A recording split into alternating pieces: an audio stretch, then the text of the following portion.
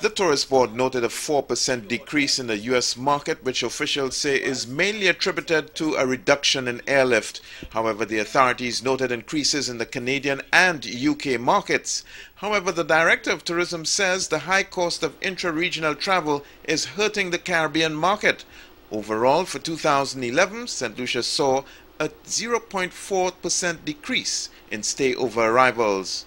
We are approaching Canada as if it were an entirely new market and really looking to double our activities there because we think that the potential is there to see some increased arrivals coming out of the Canadian market.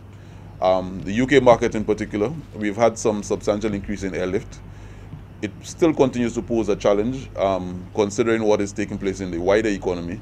Um, but it is very important for us. Despite the tourism downturn in some markets, the chairman of the tourist board says it is important that stakeholders remain in sync with each other.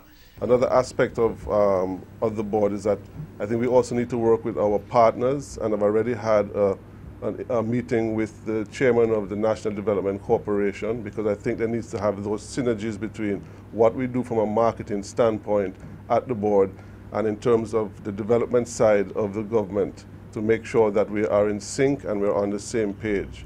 So I really believe a very inclusive approach to the board and other partners in the industry.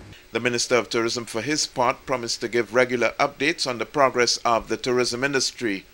One of the things that we have heard many times over concerning the destination is the need for us to have sufficient airlift into St. Lucia as a means of, of dealing with tourist arrivals in this country.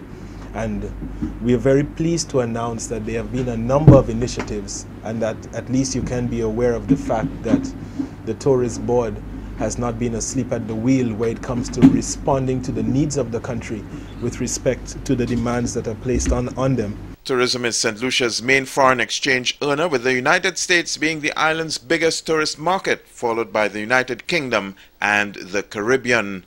For the DBS News World, I am Don Nicholas reporting.